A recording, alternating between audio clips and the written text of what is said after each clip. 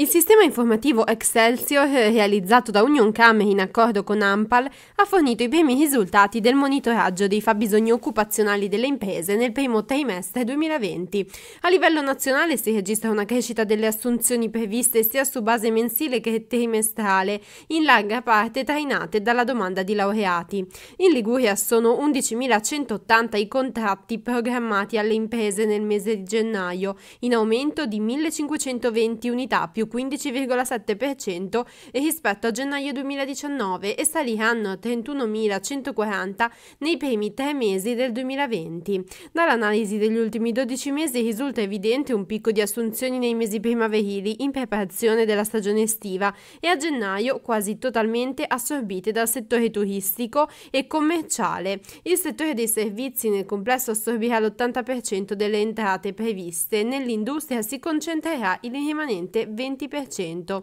Cresce in termini percentuali la richiesta da parte delle imprese di profili high skill ad alta specializzazione tecnica, ma anche di conduttori di impianti e macchine.